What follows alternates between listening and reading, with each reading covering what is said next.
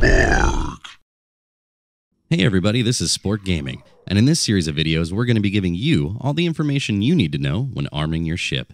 Today, we'll be highlighting the Behring M4A laser cannon.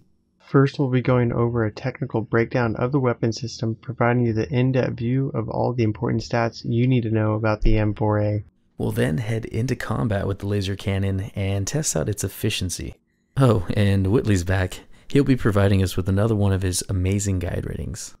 Please be advised, uh, we performed the following tests with the new Arena Commander patch 1.0.3. As always, this information you're about to hear is subject to change as Star Citizen is still in alpha.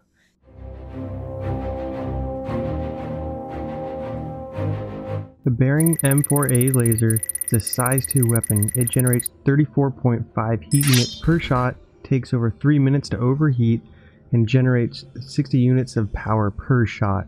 It also has a max effective range of 685 meters.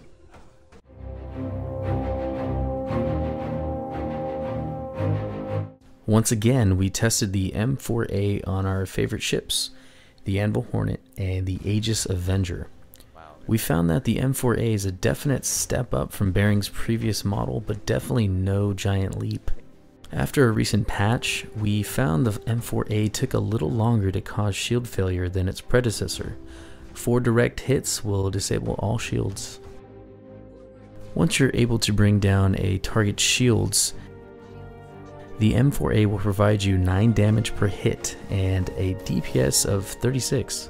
Although the M4A is said to be a power hog, the beauty of the weapon system is in its heat management. Our tests demonstrated that it frequently took over 3 minutes of constant fire before it overheated. So even if you're unable to get the great shot placement, your target will be under a constant barrage of fire for a decent amount of time. So far, the best shot placement with the M4A proved to be the cockpit area for both ships. On average, 16 rounds will take a Hornet down and 10 will destroy an Avenger. The worst placement was the aft and port sides coming in at an average of 54 hits for the Hornet and 20 for the Avenger.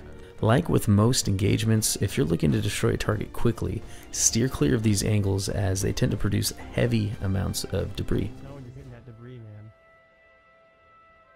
Oh, and uh, what do you know? The Avenger's nose is still undefeated. If only targeting that front section, the M4A is unable to actually destroy the ship no matter how long you fire at it.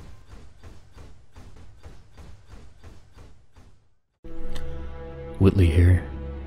It's not about how many Vanduul you kill, your ranking, or even about how much cred you spend. It's about balance. It's all about finding your Lagrange point in the verse.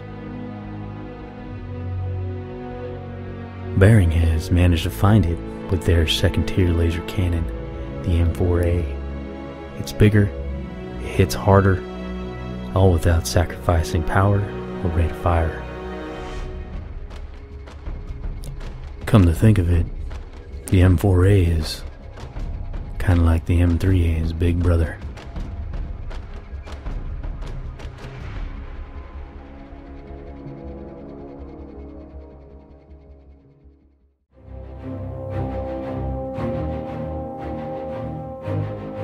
Overall, if we were given a choice between the M3A or the M4A laser cannon, we would pick the M4A hands down.